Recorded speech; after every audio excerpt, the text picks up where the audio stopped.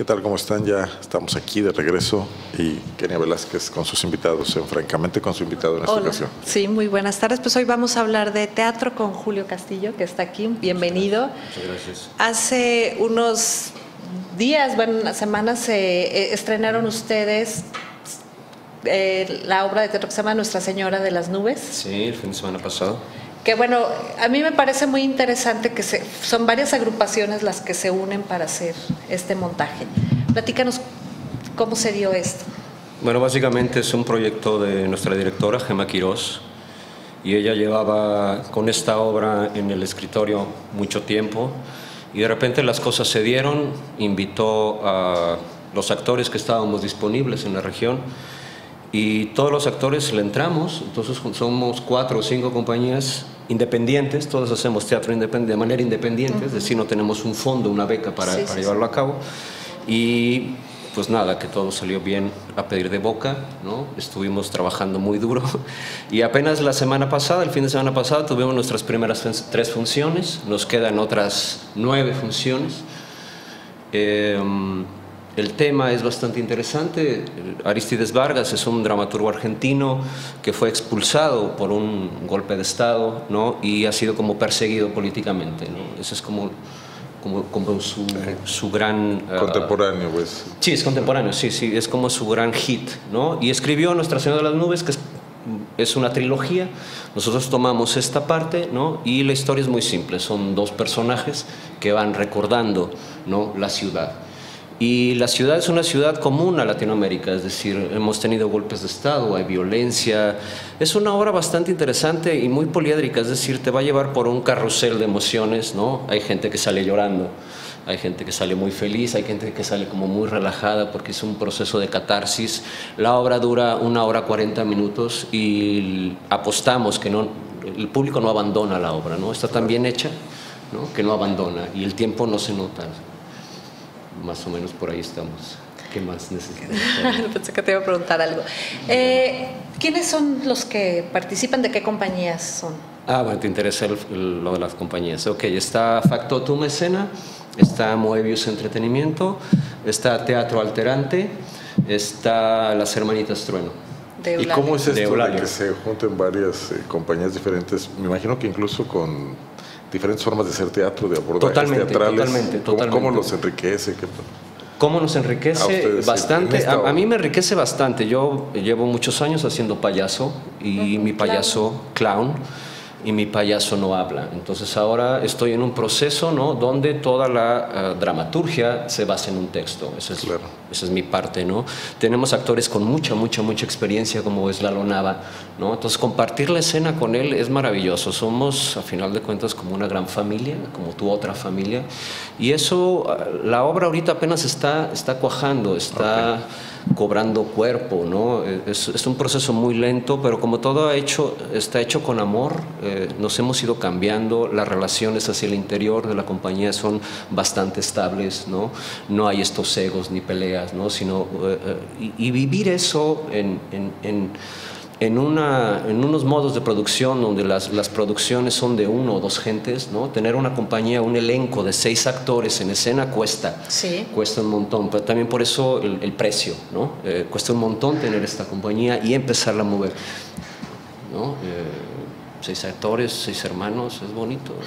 Y aparte están en un escenario que, bueno, yo no sabía que había un escenario aquí en Plaza Estadio. Ni yo que, hay, tampoco. que hay un foro Ni yo tampoco. que, bueno, están explorando ver, ustedes. Eh, básicamente estamos en, en Plaza Stadium, uno sube las escaleras eléctricas, al lado de los cines había un local. Ese local lo habilitamos, nos ha quedado muy bonito, eh, caben alrededor de 150 gentes, ¿no? Eh, es un espacio respirable y le da como una estética contemporánea, dura, ¿no? Es una obra eh, totalmente... Ah, mira, ahí está Carla.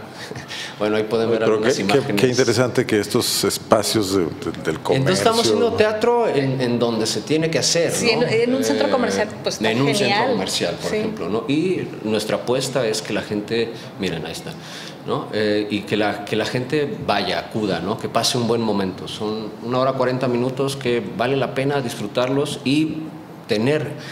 Ahorita en la localidad hay un montón de teatro, hay, otras, hay otros foros también activos, ¿no? Entonces hay, no, si hay como nueve obras. Sí, puedes ir así una semana, cada fin de semana a ver una diferente.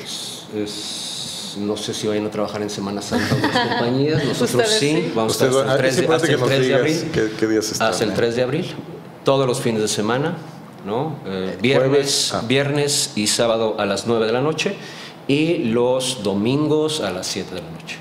Muy bien. Entonces ustedes pueden llegar con toda la comunidad, está una plaza, Hay ¿no? estacionamiento. Ahí está el estacionamiento de la plaza, ¿no? Eh, se les hace un descuento especial a, a la gente que asiste con nosotros, hay un acuerdo con la plaza, ¿no? Entonces no paga tanto de estacionamiento, eh, te llevas dos horas de Lo que tiempo. me parece muy interesante es que también los gerentes o administradores de estas plazas abran la oportunidad de manejar esto, ¿no? Teatro. Pues es una apuesta para bueno. todos, es una apuesta para todos, es nuevo, no habíamos hecho, no, esto no se había hecho, ¿no? Esperemos que, que nos vaya bien económicamente. ¿Administran ustedes el espacio? No, hay- hay el- aquí el- yo, yo desconozco esa parte porque nuestro productor no está y él te puede hablar con mayor detalle. El productor se llama Gustavo Parada, lo pueden buscar en Facebook y ahí todo este tipo de detalles de patrocinadores y de arreglos y convenios y mover la obra, eh, eh, moverla a otros festivales, etcétera, etcétera, él te lo puede decir. ¿no? Muy bien. Pero sí lo están considerando de moverse. La idea es, eh, está tan bien hecha que eh, pretendemos irnos a- en una gira hacia Latinoamérica. ¿Por qué? Porque nuestro español es neutro, entonces conecta directamente con los chilenos, los colombianos, con los españoles. Es una obra que tiene mucho éxito en Latinoamérica. Y ahora está la oportunidad. Hace siete años la montó Javier Sánchez, ¿no? Y ahora la, estamos retomando nosotros, ¿no? De la trilogía, la parte que escogen es, es el centro, un poco. ¿por qué Es que están, es que es un poliedro. No, no, no es una, están las tres hermanadas, están, están las tres unidas con tres temáticas. Entonces no puedes decir la uno, la dos y la tres. No, no hay una asociación. Es un bloque que le costó un Y montón de años irlo, irlo construyendo. ¿no? Y autonomía en cada una de las partes también. Sí, exactamente. Y están vinculadas también, ¿no? Con este, sus temas es el olvido, la violencia, el viaje, el no recordar, ¿no? Eso es como su catálogo de temas y él ya los hizo como un, como un gran bloque, Y bueno, ¿tú ver. Qué personaje interpretas? Yo hago varios personajes. Uno es Oscar, el otro es un idiota que se llama Meme, es un retrasado mental, Ok. que es como una especie de gurú. ¿no? Eh, luego hago un hermano Aguilera, que es un seductor, eh, callejero, es un, es un carnicero que se dedica a, a dar piropos a las mujeres ¿no? y las excita mucho a todas las mujeres que viven ahí en esa zona. Y luego eh, hago un estudiante que es eh, masacrado, ¿no? es, eh, son los últimos 10 minutos de su vida a punto de morir. ¿no? Eh, recuerdo un tema reciente, los 43, por ahí está el asunto. ¿no? Y ya, con eso te tengo, bueno, más vemos este. con eso tengo para, Sí, bueno, para la licuadora emocional. sí, bastante agotador.